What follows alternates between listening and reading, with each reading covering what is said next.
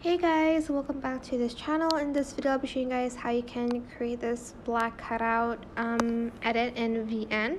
So select new project, select video base and press save.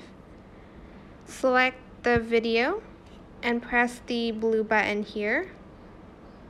And you're going to select a black overlay, so press the tap to add sticker and select stocks Go to stocks and add in a black background and I'm just going to resize it until it fits the whole entire thing.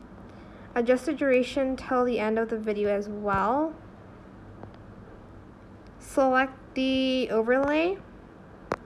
Select mask here when you scroll it. Select rectangle. And you're going to select the second circle here. There's like two circles here. As you can see, I'm changing it.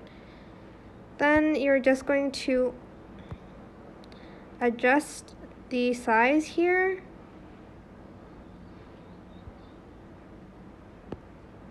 Place it there and you're going to select the select corner to create like a round edge and you're going to feather it out just a little bit. And that is it. I hope this tutorial was helpful for you guys. Don't forget to like, comment, share. Also subscribe to this channel if you haven't done that already. If you have any more questions about this video, just leave it in the comment section down below and I'll try my best to answer them all for you guys. If you found this video helpful, please click the thanks button as well. That is it. Thank you so much for watching this video. Bye.